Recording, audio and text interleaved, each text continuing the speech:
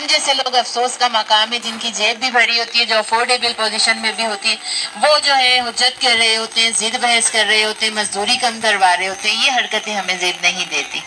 अगर आप